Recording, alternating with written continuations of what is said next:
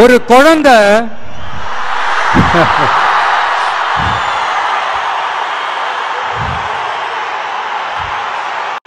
ஒரு குழந்தை முத முதல் அம்மான்னு சொல்றப்போ அந்த அம்மாவுக்கு ஒரு சிலிர்ப்பு ஒண்ணு வரும் பாருங்க.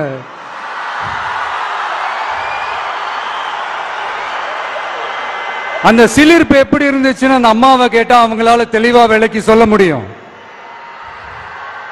ஆனா அந்த உணர்வு எப்படி இருந்துச்சுன்னு அந்த குழந்தைய கேட்டா அந்த குழந்தை எப்படிங்க சொல்லும்? முதல்ல அந்த குழந்தைக்கு எப்படி சொல்ல தெரியும்? குழந்தைகிட்ட எதை கேட்டாலும் பால் வாசம் மாறாத வாயோட மடலை தவழ வெள்ளந்தியா சிரிக்க மட்டும்தானே தெரியும்.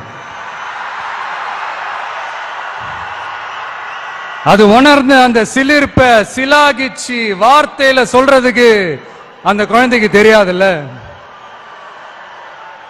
அப்படி ஒரு உணர்வோட தான் இப்ப உங்க முன்னாடி நான் நிக்கிறேன்.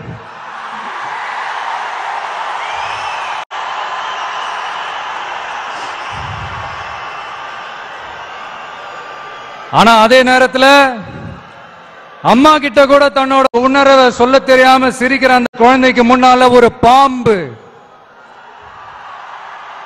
வந்து படம் எடுக்குதுன்னு வைங்களேன். என்ன நடக்கும்?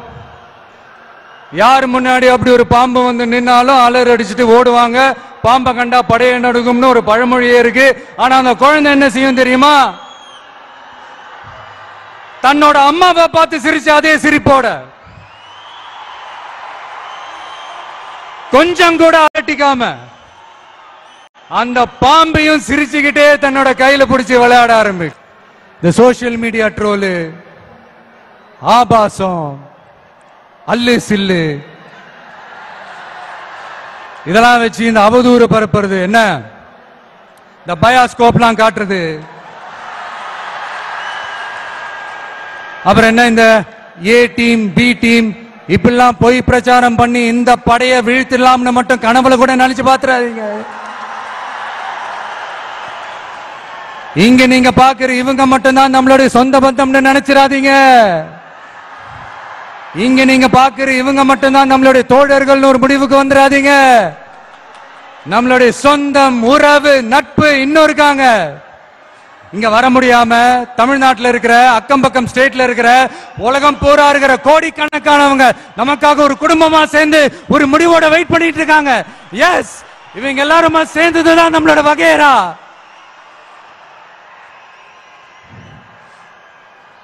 இங்க யாராச்சும் வந்துட மாட்டாங்களா? ஏதாச்சும் நல்லது செஞ்சிட மாட்டாங்களா? அப்படின்னு ஒவ்வொரு நாளும் நம்மளுடைய தமிழ்நாட்டை பத்தி அதோட வளர்ச்சியை பத்தி ஒரு ஏக்கத்தோட இருக்கிற நம்மள நம்ம மக்களை இந்த ஏமாத்துற இந்த கரப்ஷன் கபடதாரிகளை ஜனநாயக போர்க்களத்துல நாம சந்திக்கிற நாள் வெகு தூரத்துல இல்லைங்க. இதோ இப்போ இப்போ இப்படின்றதுக்குள்ள வந்துடும் ரெண்டாயிரத்தி இருபத்தி ஆறுல எலெக்ஷன் கமிஷன் அப்படி ஒரு போருக்கான ஒரு நாளை குறிக்கும்ல? அன்னைக்கு அந்த நாள்ல அந்த தேதியில ஒட்டுமொத்த மக்களும் தங்களோட ஒத்த விரல்ல தமிழ்நாட்டில் இருக்கிற இருநூத்தி முப்பத்தி நாலு தொகுதியிலையும் டிவி கே சின்னத்துக்காக அவங்க அழுத்த போற ஒவ்வொரு பட்டன்ல இருந்து விடுற ஒவ்வொரு ஓட்டும் அணுகுண்டா மாறும் பாருங்க. நடக்கும் பாருங்க நடக்கும். இங்க ஒரு கூட்டம்.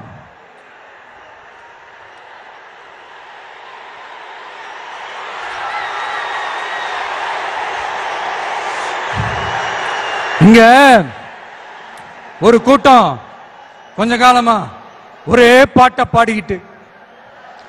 அதாவது யார் அரசியலுக்கு வந்தாலும் ஒரு குறிப்பிட்ட கலர் அவங்க மேல பூசிட்டு.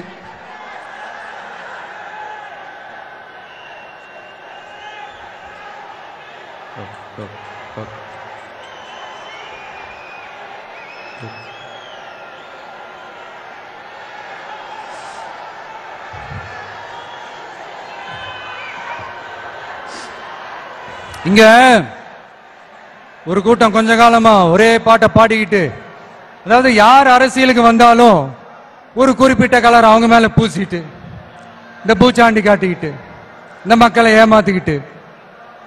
ஆனா இவங்க மட்டும் இந்த அண்டர் கிரவுண்ட் டீலிங்லாம் போட்டுக்கிட்டு இந்த தேர்தல் நேரத்தில் இந்த அறிக்கை சவுண்ட் எல்லாம் விட்டுக்கிட்டு இவங்களுக்கு எப்ப பார்த்தாலும் இந்த பாசிசம் பாசிசம் பாசிசம் அவ்வளவுதான். ஒற்றுமையா இருக்கிற நம்ம மக்கள் மத்தியில இந்த சிறுபான்மை பெரும்பான்மைன்னு ஒரு பிரிவினை பயத்தை காட்டி ஒரு ஃபுல் டைம் சீனை போடுறது ஒரு வேலையா போச்சு. இல்ல நான் தெரியாம தான் கேட்கிறேன் அவங்க பாசிசம்னா நீங்க என்ன பாயாசமா?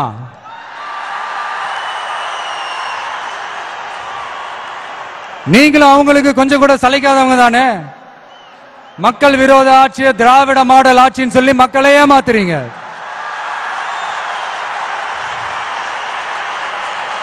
அதனால இனிமே உங்களை எதிர்க்கிறவங்களுக்கு இந்த கலரை பூசுறது அந்த கலரை பூசுறதுன்னு என்னதான் நீங்க அந்த மோடி மஸ்தான் வேலையை செஞ்சாலும் ஒண்ணு நடக்க போறது நாங்க இப்பவும் சொல்றோம் எங்களுடைய இந்த டிவி கேக்கலாம் நாங்க டிசைட் பண்ணிருக்கிற இந்த கலரை தவிர வேற யாரும் எந்த கலரும் அடிக்கவே முடியாது. ஏன்னா எங்க கோட்பாடே பிறப்பால் அனைவரும் சமம் அப்படிங்கிறது. இது யாருக்கு நேர் எதிரான கோட்பாடு நான் சொல்லியாங்க உங்களுக்கு தெரியணும். எனவே இந்த நாட்டையை பாழ்படுத்துற பிளவுவாத அரசியல் செய்யறவங்க தான் தமிழக வெற்றி கழகத்தோட ஒரே முழு முதல் கொள்கை எதிரி ஐடியாலஜிக்கல் எனிமி அடுத்து திராவிட மாடல்னு சொல்லிக்கிட்டு தந்தை பெரியார் பேரறிஞர் அண்ணா பேரை வச்சு தமிழ்நாட்டை சுரண்டி கொள்ளையடிக்கிற ஒரு குடும்ப சுயநல கூட்டம் தான் நம்மளோட அடுத்த எதிரி அரசியல் எதிரி பொலிட்டிக்கல் எனிமி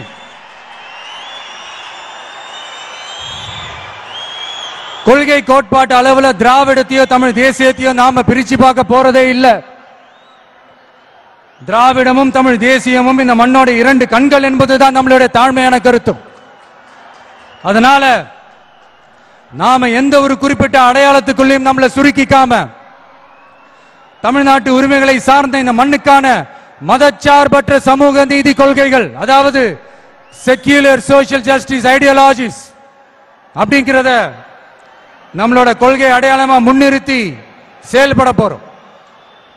ஜனநாயகம் சமூக நீதி சகோதரத்துவம் சமத்துவம் சமூக சமய நல்லிணக்கம் பெண் கல்வி காலநிலை மாற்றத்திற்கேற்ற வளர்ச்சி உற்பத்தி திறன்.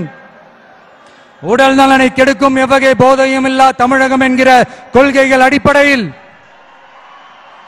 பிறப்புக்கும் எல்லா உயிர்க்கும் என்கிற புரட்சிகர தத்துவத்தின் அடிப்படையில் சமதர்ம சமூகத்தை உருவாக்குறது தான் நம்ம மெயின் டார்கெட்டும் கால மாற்றத்திற்கு ஏற்ப கொள்கை கோட்பாட்டில் மாற்றமும் மாறுதலும் வந்துதான் தீரும். அதை தவிர்க்கவே முடியாது. எங்களோட இந்த அரசியல் பயணத்தில் முக்கிய பங்கு வகிக்க போறது பெண்கள். என்னுடைய அம்மாக்கள் என்னுடைய அக்கா தங்கைகள் என்னுடைய நண்பிகள்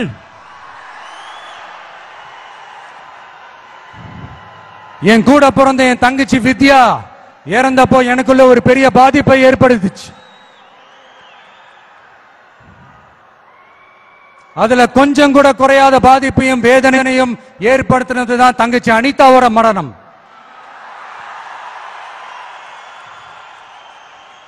அதுலயும் தகுதி இருந்தும் தடையா இருக்கே இந்த நீட்டு. அப்ப ஒரு முடிவு பண்ணுங்க. வாய் நிறைய விஜயண்ணா விஜயண்ணான்னு நம்மள மனசார கூப்பிடுற இந்த பெண் பிள்ளைங்களோட கல்வி வாழ்க்கைன்னு எல்லாத்துலயும் ஒரு நிரந்தர பாதுகாப்பு ஏற்படுத்தணும்னு. இனிமே கவலைப்படாதீங்க. உங்க மகன் உங்க அண்ணன் உங்க தம்பி உங்க தோழன் உங்க விஜய். களத்துக்கு வந்துட்டான். ஒவ்வொரு வீட்டில் இருக்கிற ஒரு மகனா அண்ணனா தம்பியா தோழனா உங்கள ஒருத்தனா உறவா நட்பா? என்னை பாக்குற குட்டீஸ்ல இருந்து பாட்டிஸ் வரைக்கும் எல்லாருக்குமான ஆளா தான் இருப்பேன். எப்பவுமே அப்படிதான் இருப்பேன். சரிப்பா உன்னோட அரசியல் குறிக்கோள் தான் என்ன? ஏன்னா எங்க கோட்பாடே பிறப்பால் அனைவரும் சமம் அப்படிங்கிறது. இது யாருக்கு நேர் எதிரான கோட்பாடு? நான் சொல்லியாங்க உங்களுக்கு தெரியணும். எனவே இந்த நாட்டையை பாழ்படுத்துற பிளவுவாத அரசியல் செய்யறவங்க தான் தமிழக வெற்றி கழகத்தோட ஒரே முழு முதல் கொள்கை எதிரி ஐடியாலஜிக்கல் எனிமி அடுத்து திராவிட மாடல்னு சொல்லிக்கிட்டு தந்தை பெரியார் பேரறிஞர் அண்ணா பேரை வச்சு தமிழ்நாட்டை சுரண்டி கொள்ளையடிக்கிற ஒரு குடும்ப சுயநல கூட்டம் தான் நம்மளோட அடுத்த எதிரி அரசியல் எதிரி பொலிட்டிக்கல் எனிமி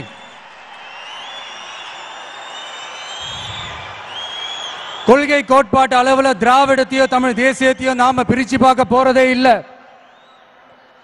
திராவிடமும் தமிழ் தேசியமும் இந்த மண்ணோட இரண்டு கண்கள் என்பதுதான் நம்மளுடைய தாழ்மையான கருத்தும். அதனால நாம எந்த ஒரு குறிப்பிட்ட அடையாளத்துக்குள்ளும் நம்மளை சுருக்கிக்காம தமிழ்நாட்டு உரிமைகளை சார்ந்த இந்த மண்ணுக்கான மதச்சார்பற்ற சமூக நீதி கொள்கைகள் அதாவது செக்யூலர் சோஷியல் ஜஸ்டிஸ் ஐடியாலஜிஸ் அப்படிங்கிறத நம்மளோட கொள்கை அடையாளமா முன்னிறுத்தி செயல்பட போறோம்.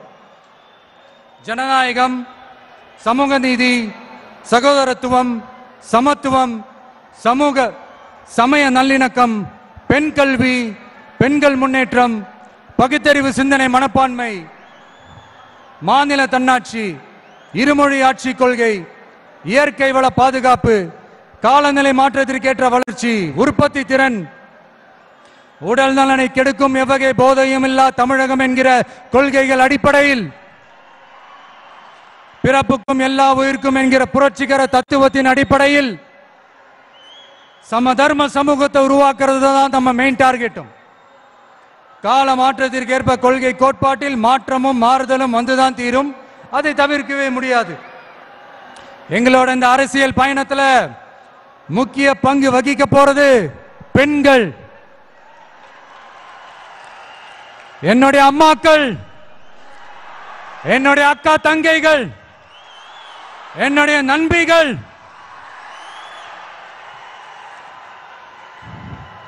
என் கூட பிறந்த என் தங்கச்சி வித்யா இறந்தப்போ எனக்குள்ள ஒரு பெரிய பாதிப்பை ஏற்படுத்துச்சு. அதுல கொஞ்சம் கூட குறையாத பாதிப்பையும் வேதனையும் ஏற்படுத்தினது தான் தங்கச்சி அனிதாவோட மரணம்.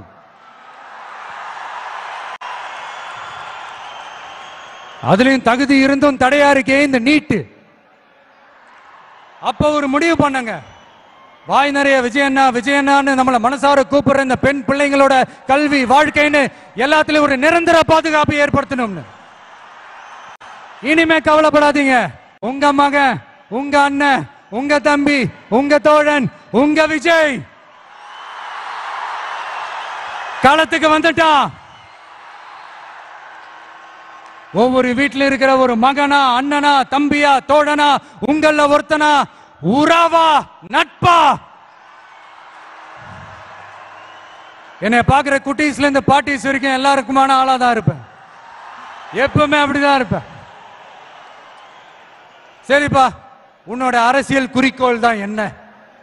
அப்படி கேட்டா அதுக்கு ஒரே ஒரு பதில் தான் எல்லாருக்கும் எல்லாமும் கிடைக்கணும். வாழ்றதுக்கு வீடு வயிற்றுக்கு சோறு வருமானத்துக்கு வேலை. இதுதான் எங்களோட அடிப்படை அஜெண்டா. இந்த மூணுத்துக்கும் உத்தரவாதம் கொடுக்க முடியாத கவர்மெண்ட் இருந்தா என்ன போனா என்ன?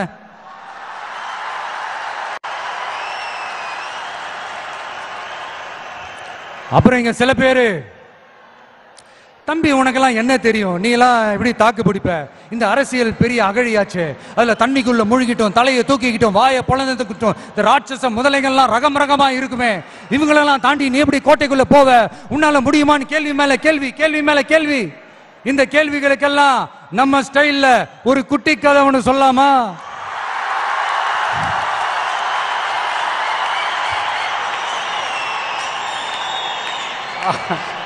ஆனா இது ஆடியோ லான்ச் ஃபங்க்ஷனில் சொல்ற மாதிரி இந்த மோட்டிவேஷனல் கதைலாம் கிடையாது. நம்மளுடைய ஸ்டாண்ட் என்ன நம்ம எடுக்க போற டிசிஷன் என்னன்னு டெலிபரேட்டா சொல்ல போற கதை. சரிங்களா? ஒரு நாட்டில் ஒரு பெரிய போர் வந்துச்சாம். அப்ப அந்த நாட்டில் இந்த பவர்ஃபுல்லான தலைமை இல்லாம போனதுனால ஒரு பச்சை புள்ள கையில தான் அந்த பொறுப்பு இருந்துச்சான் அதனால அந்த நாட்டில் இருந்த அந்த பெருந்தலைகள்லாம் ரொம்ப பயந்துகிட்டு இருந்தாங்களாம். அந்த சின்ன பையன் அந்த நாட்டோட படையை நடத்துற பொறுப்பை ஏத்துக்கிட்டு போர்க்களம் போலாம்னு சொன்னானா அப்ப அந்த பெருந்தலைகள்லாம் எப்பா நீயே சின்ன பையன். இது பெரிய போர்க்களம்ப்பா. அங்க பவர்ஃபுல்லான நிறைய எதிரிகள்லாம் இருப்பாங்கப்பா. களத்தில் அவங்களுக்கு சந்திக்கிறதெல்லாம் சாதாரணமான விஷயம் இல்லைப்பா. சொன்னா கேளுப்பா இது விளையாட்டு இல்ல. நீ பாட்டுக்கு குடுகுடுன்னு ஓடி விளையாடிட்டு திரும்ப குடுகுடுன்னு வீட்டுக்கு ஓடி வர்றதுக்கு. போர்னா படையை நடத்தணும். அதை விட முக்கியம் அத்தனை எதிரிகளையும் சமாளிச்சு போர்ல தாக்கு பிடிக்கணும். அதுக்கு மேல முக்கியம் அந்த போர்ல ஜெயிக்கணும். உனக்கு யாரோ கூட்டோ துணையோ இல்லாம நீ எப்படிப்பா அந்த போரை நடத்துவ? எப்படி ஜெயிப்ப அப்படின்னு எல்லா பெருந்தலைகளையும் கேட்டப்போ. எந்த பதிலும் சொல்லாம போருக்கு தனியா தன் படையோட போன அந்த பாண்டிய வம்சத்தை சேர்ந்த அந்த பையன் என்ன செஞ்சான்னு? சங்க இலக்கியத்துல ரொம்ப நல்லா தெளிவா சொல்லியிருக்காங்க. படிக்காதவங்க படிச்சு தெரிஞ்சுக்கங்க இல்லைன்னா படிச்சவங்க கிட்ட கேட்டு தெரிஞ்சுக்கங்க. ஆனா கெட்ட பையன் சார் அந்த சின்ன பையன்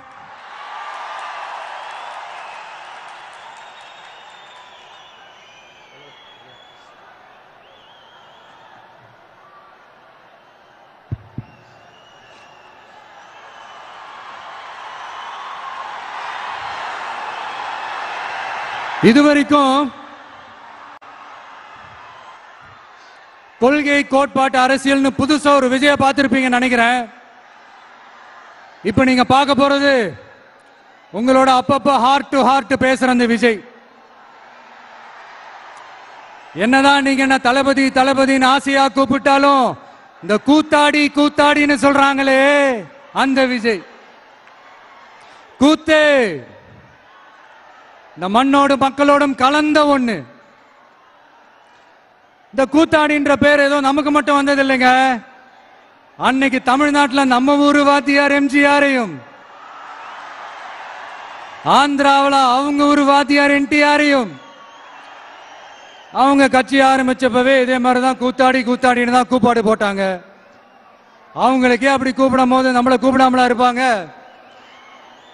ஆனா அந்த ரெண்டு கூத்தாடி தாங்க அந்த ரெண்டு மாநிலத்தோட ஆக பெரும் தலைவர்களாகி இன்னைக்கும் மக்கள் மனசுல ஒரு நீங்கா ஒரு புகழோட வாழ்ந்துட்டு இருக்கிறாங்க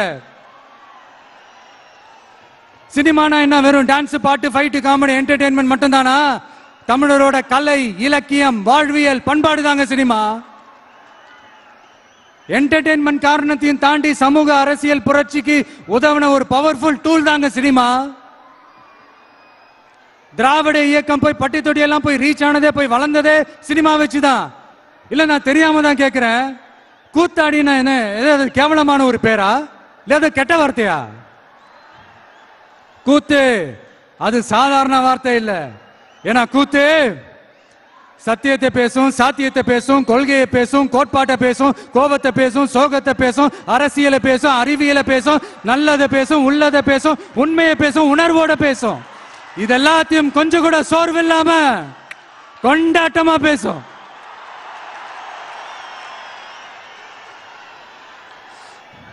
கூத்து ஒரு கொண்டாட்டம்னா கூத்தாடி அந்த கொண்டாட்டத்தோட குறியீடு.